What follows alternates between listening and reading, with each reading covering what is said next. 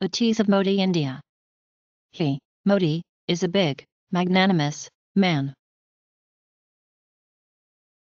A day after Rahul accused him of taking money from Sahara and Birla groups when he was Gujarat chief minister, Modi said, he, Rahul, had been going around threatening that when he speaks, there will be an earthquake. I also asserted that the eight-month-old government in Myanmar was taking initiatives to tackle the Rakhine issue, including the citizenship verification process for Rohingya. Just watched Rohingyas hope rests with Myanmar's new government replay more videos.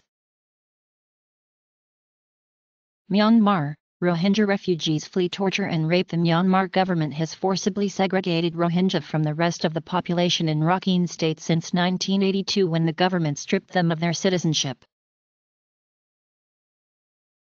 Rawalpindi is ensuring that its attacks on India focus on military or police targets and do not get the kind of mileage that the Mumbai massacre of 2008 got.